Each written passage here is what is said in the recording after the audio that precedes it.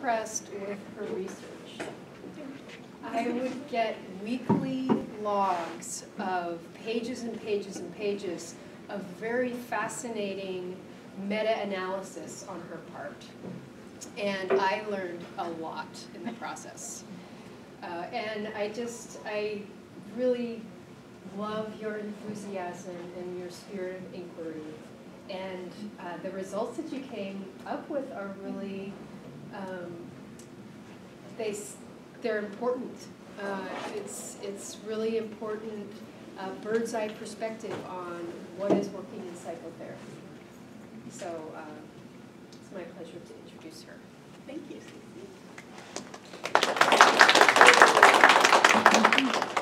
So I'd like to start off with a little story. Before Antioch, I went to a small conservative Christian university. And there I took a class called Counseling Theory and Practice. And I remember one day we were having a discussion group. And my peers and I were sitting around a table, and uh, we were done with the discussion questions. And I asked um, the students at the table, if you are planning to use the therapies that have less scientific evidence for them, why is that?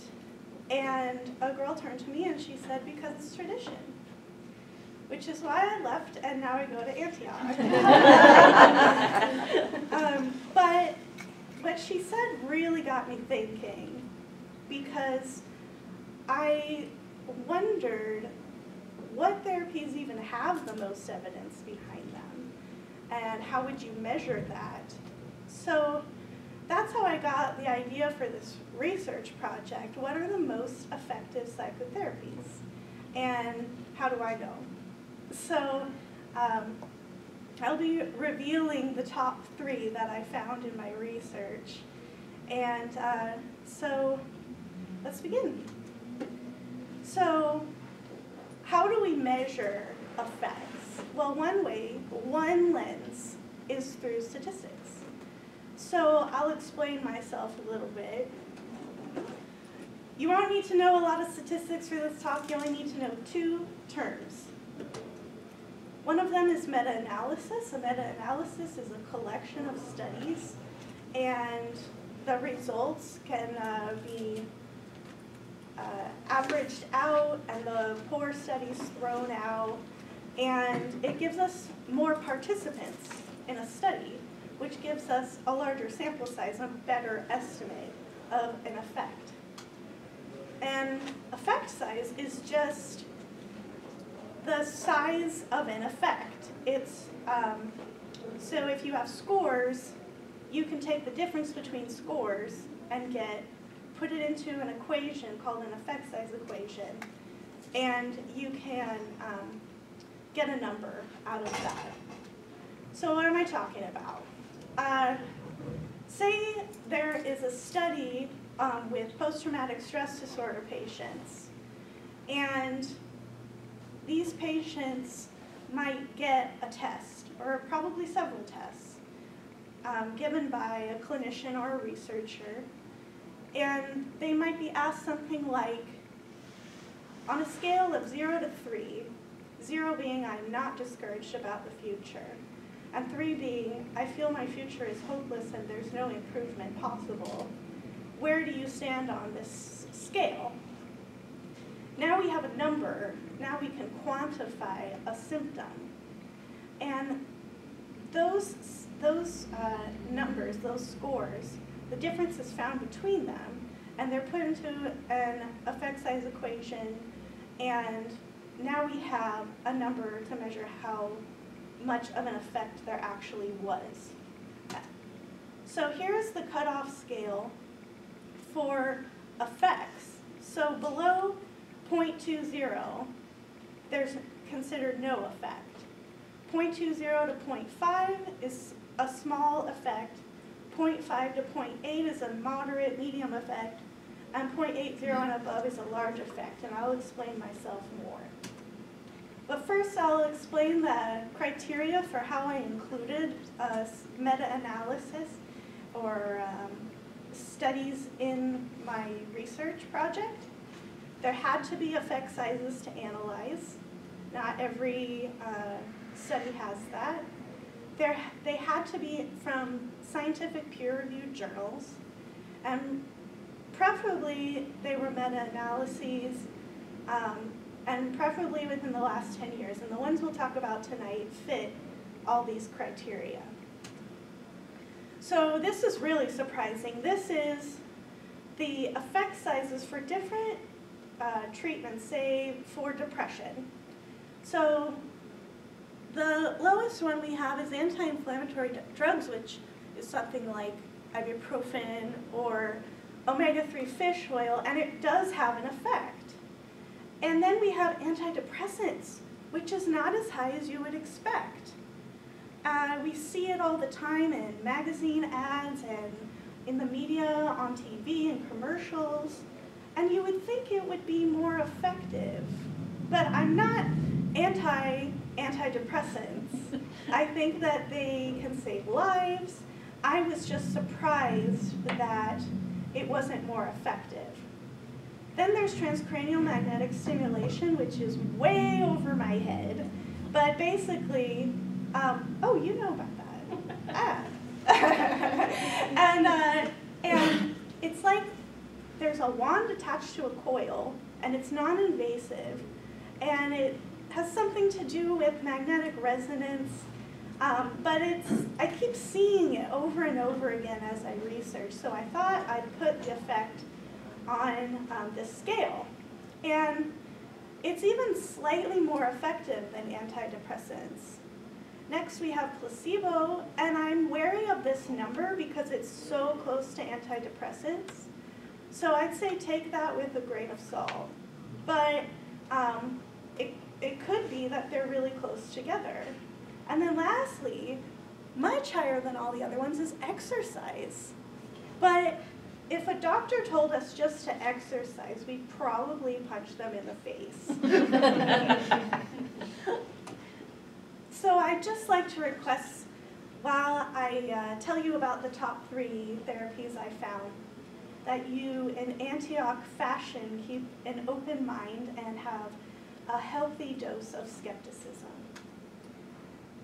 So the number three most effective therapy that I found statistically in my research was something called psychodynamic psychotherapy. And I'll get into what that is. But first I want to show you just how effective this particular therapy seems to be. It's all the way well over the 0.80 cutoff. And it's true that some therapies, I mean, therapies are all over the spectrum, but some are very, very effective, and I think therapy gets kind of a bad reputation when it can be highly effective for people. So here's some highlights, the evidence I found most interesting. Um, well over the 0.80 cutoff, we see 1.07. So that means there was a large effect, and it reduced symptoms of depression, anxiety, anorexia nervosa, and borderline personality disorder. So conditions that are not very easy to treat. And this is from the Journal of the American Academy of Child and Adolescent Psychiatry. So this is a big deal. And another interesting thing that I found was that group therapy and psychodynamic psychotherapy was a large effect, but individual therapy in psychodynamic psychotherapy was far more effective, 1.48, uh, well over the 0.80 cutoff. So individual therapy can be far more effective in this particular therapy than group therapy, but that's not to say group therapy is not highly effective. So one key thing to understand with psychodynamic psychotherapy is what the unconscious is. And it can get a little convoluted. Um, I like to think about it as like an iceberg and we have the conscious aware thoughts we have is the tip of the iceberg. And then what we're thinking that we're unaware we're thinking is the unconscious, is the rest of that iceberg that's underwater. So it's the thoughts and feelings we're unaware of that still have an influence on our behavior and our emotions. And it might be easy to, easier to think of as um, our primal instincts, like how do bees know how to maintain a hive, or birds know to migrate, those sorts of things. So the idea is that integrating what we're aware of and unaware of, unconsciously and consciously, creates a healthy psyche and a healthy brain. And mental disorders, in this theory, they believe are unconscious, that people are unaware of it. And a key aspect of this theory is that early childhood experiences, say a trauma, uh, can affect as an adult day-to-day life. And um, so that early caregiver relationship is very important. The first technique I'll talk about is free association. It's like when you talk stream of consciousness, um, you might be sitting in a, a therapy session and told not to censor your thoughts with the therapist. And the purpose of it is to kind of figure out what you're thinking and feeling. Um, so that can be one way of coming up with some of that unconscious material I'm talking about. Another um, technique is dream interpretation. And um, I like to think of this like I had this dream one time that I was in a house in a basement organizing these giant cardboard boxes. And I woke up and I kind of knew what the dream was about. I mean, have you ever had a dream and you kind of knew what it was about? And um, there are no right or wrong answers with that. And at the time I was in therapy, just taking it seriously and just beginning, and I thought, I wonder if this is about my mind working on my problems, and that's why I'm organizing these boxes in the basement, these maybe unconscious um, thoughts and feelings. So that's one way to look at it. The next technique is about resistance and transference. So just like our bodies, our brain wants to stay in homeostasis. And this is known as resistance. Uh, one way might be, an example of resistance might be a client coming late to sessions. Uh, transference might be a client who's angry with their therapist. And I'll go into more detail about transference a little bit later. Um, another key aspect is building the relationship between client, and therapist, and psychodynamic. Um, creating a bond between therapist and client shows uh, improvement and people changing. And what might happen is a client and a therapist sit down and the clients ask, what are your goals in therapy? And the client um, and the therapist work out what tasks to complete based on those desired goals. So that's psychodynamic in seven minutes. and um, I'd like to talk about the second um, most effective therapy I found statistically in my research project. So nobody's heard of this one. But this is exposure and response prevention. It's often used with people who have obsessive compulsive disorder. And it's still very effective. It's slightly more effective than psychodynamic psychotherapy. It's, uh, the psychodynamic therapy was 1.22, effect size 1.22, and um, this one is 1.26, so just slightly, um, almost tied. So this is the interesting evidence um, in children with obsessive compulsive disorder. This treatment was so effective, 1.69, well above the 0.80 large effect cutoff. And then what's, what's interesting is that for adults, it was still largely effective, but for children, it was much more effective. Um, a little over double. So that's pretty interesting stuff. Here's a spider. Um, it's kind of cute. Um, so the, the way exposure and response prevention works is the idea that a client um, confronts their fear and instead of escaping. So in, in the case of obsessive compulsive disorder, maybe you think if I touch the door handle three times with my left and three times with my right, nothing bad will happen. But in this therapy, you don't do those things. And uh, what happens is, over time, your physiological response and your psychological distress will decrease. So the first technique can just be done with a pen and paper. It just starts with making a hierarchy of the phobia and so you might have, um, for example, you're afraid of planes and looking at a picture of a plane is maybe a 1 on the scale of 1 to 10 of most feared stimulus. And then it might be that the next up the ladder is being in a car to the airport, followed by being in the airport, and then lastly being on a plane. Um, so climbing up that ladder of feared responses and not doing the rituals actually ends up, what I said earlier, reducing the response. And I've seen this done um, before pretty quickly, like in maybe a couple sessions. There was a, a video I watched of a woman who was terrified of snakes. And by the end of it, she was holding a snake.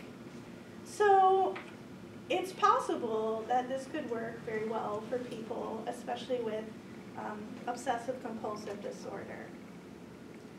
So without further ado, this was the most scientifically effective therapy that I found, and I think it's going to be pretty shocking. So this, before I did this research, I thought it was bullshit. like, I thought it didn't work, it sounds weird, there's no way it works. I tried it before, it didn't work for me. Um, and then I got into the research and I thought, okay, I'll be skeptical about this, but I'll also try to keep an open mind. So here we see the effect size is 1.38, well over the 0.80 cutoff, and for, um, for a comparison, um, psychodynamic was 1.22 and exposure and response prevention was 1.26, so a lot higher. Um, and this was across many meta-analyses, collections of studies that people did. This is the highlights um, in complex mental disorders such as schizophrenia, such as mood disorders like bipolar, and serious and persistent mental illness, it was found that across all outcomes, all of the symptoms um, that they studied in this particular meta-analysis I'm pointing out, um, it had a 1.27 effectiveness, so well over 0.80, and then what's really interesting is that at follow-up, 18 months later, which is a long time, but still, um, it was even more effective. People's symptoms reduced even more, and some went into remission completely. So I heard an explanation that kind of makes sense to me that was um, that people in therapy for a long time learn how to be their own therapist. So that might be why um, it's more effective af well after treatment than right after. Um, this is probably a picture you've seen a thousand times for the psych students in the room. Um, this is a therapy, psychoanalysis was first getting serious attention in the 1890s because of Freud's writings. The sessions would be about 50 minutes, probably now, four to five times a week. That's a lot. For a psychodynamic psychotherapist, it's about one to two times a week. And it would be long term, sometimes I read 18 months, and sometimes I read minimum five years. So a lot of people can't afford to do that, and um, but it's still highly effective. Here's an example of what I'm talking about. So there might be a patient in psychosis um, having trouble connecting with reality. And the analyst might sit with them and discuss what reality is without invalidating them, without saying, um, what you think of reality is wrong and I'm right. I'm the authority on what reality is. The analyst might uh, encourage the client to stay alive, to hospitalize themselves if they're a threat to themselves and others. Uh, sometimes psychotropic medications, in the case of overwhelming depressive symptoms or hallucinations and delusions, um, medication might be prescribed. And then lastly, um, talking about the meaning behind things in life seem to improve people's symptoms too. So for example, you might, this patient might be feeling a strong sense of failure about something that happened. And the analyst might say, well, that might be true, but you know, if if this bad thing didn't happen, then this good thing might not have been able to happen too. So ascribing meaning um, seemed to make people feel better.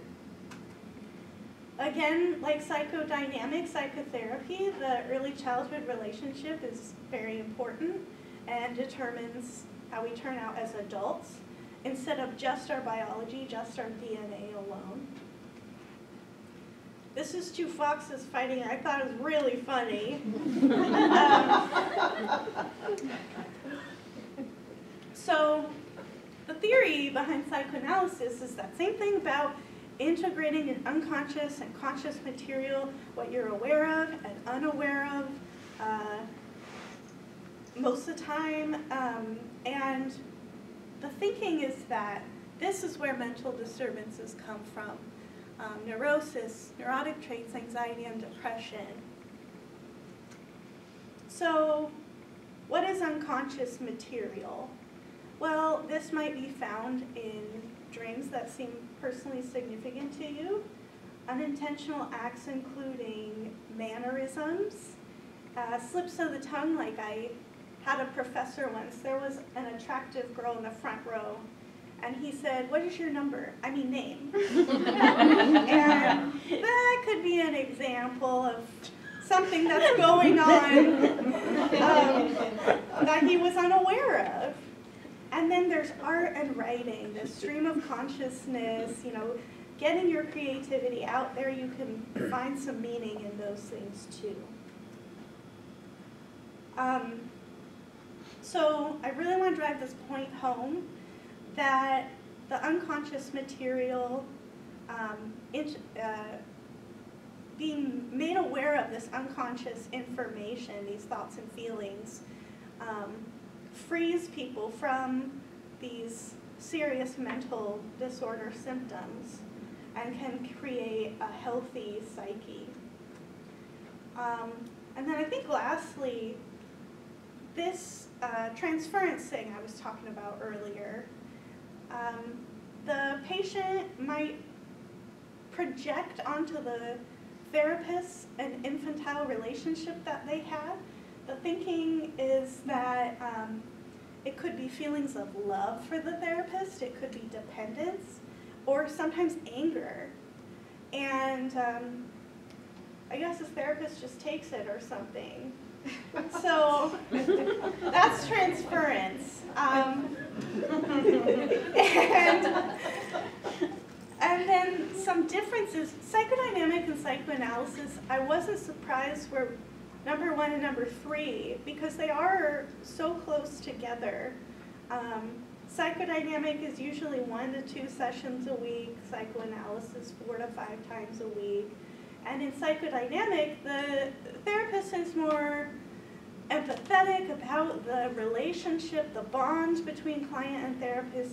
And in psychoanalysis, the therapist wants to be a blank slate so that the client can project their transference onto the therapist and work out some issues that they had in that early relationship, maybe even as young as being an infant. So um, next I wanted to show you a website I made with, uh, it's called How To Therapy, the Scientific Effectiveness of Psychotherapy. And on it, I put the whole list of the effect sizes in order. Um, and on the right, we can, we can see all 150 therapies I went through. I know. and um, a little, a little bit about what they are, the evidence or lack of evidence behind them, and um, their effect sizes. Most of these did not have enough research behind them. They didn't have a meta-analysis. They didn't have an effect size. They said there was an effect, but I wanted to know how much of an effect. So if you're interested in that, um, the website is how-to-therapy.com. And if you want to talk or email me, my email is posted up here. It's sobrien4 at antioch.edu. So thank you.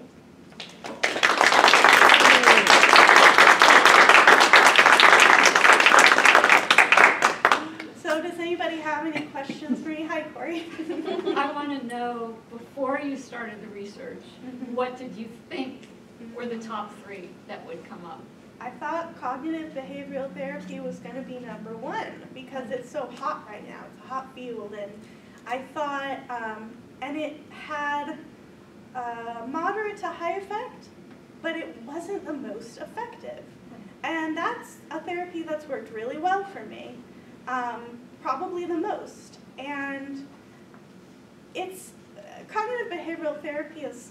I'm going to try to sum it up in two sentences. Uh, it's like your moods and thoughts and physiological responses are connected. So what you are thinking will affect how you feel.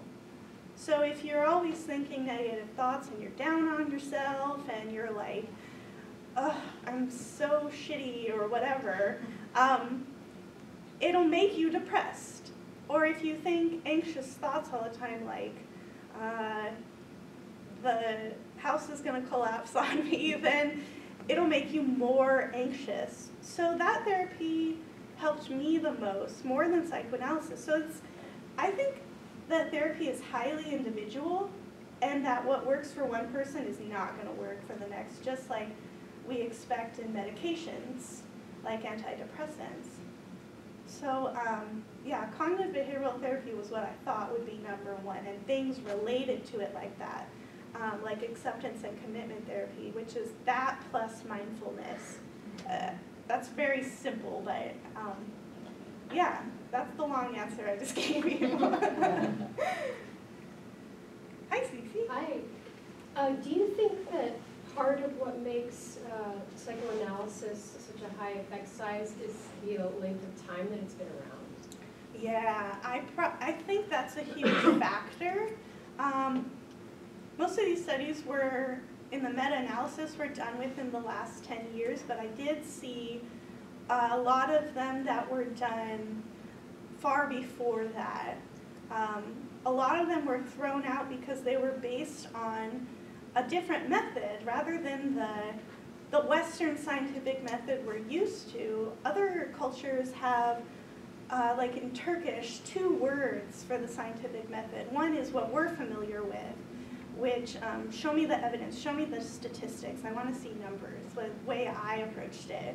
And then there's another word that is about uh, learning through observation. And the idea is that the human mind is too complex to just boil down to numbers and the scientific evidence. And Freud was a fan more of that. You probably would have hated this presentation, even though it showed that his, um, his psychoanalysis therapy was most effective in what I found, and just statistically. So, um, so I think, yeah, the, the amount of time that psychoanalysis has had to be researched, I think is really key. I think you're right about that, yeah.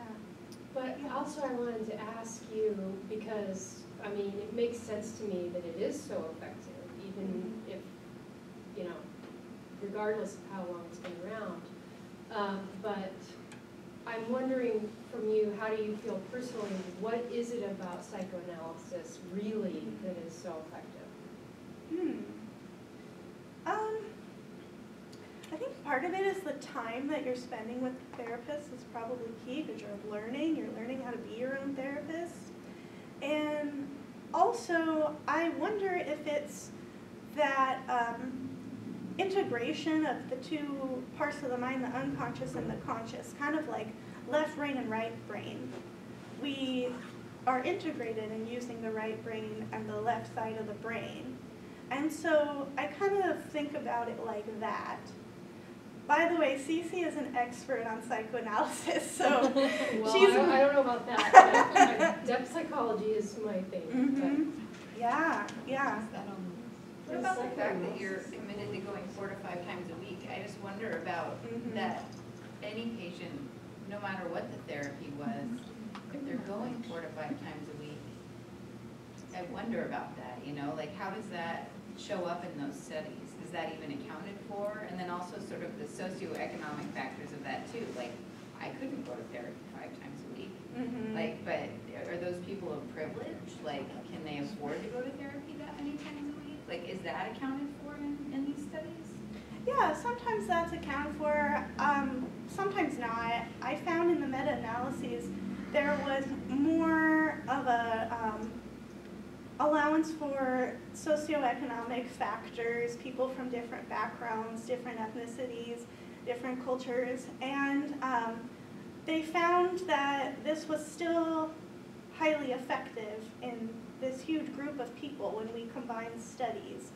Um, as far as going four to five times a week, I think you're dead on. I think that probably helps people a lot. I know um, from um, from your class um, that Freud used to just have uh, wealthy white women that he would treat for things like um, like hysteria and things like that, which I read their kind of thinking was more borderline personality, what we call that now. But anyway, um, so definitely those factors, I think you're right that they're going to take that on. But I did notice that a lot of these meta-analyses tried to control for things like that. So I think it's a mix, probably. Yeah. I would think that, um, by the way, well done, you did a great Thank job. you. Yeah, very Yeah. Thank you so much. It was really interesting. Um,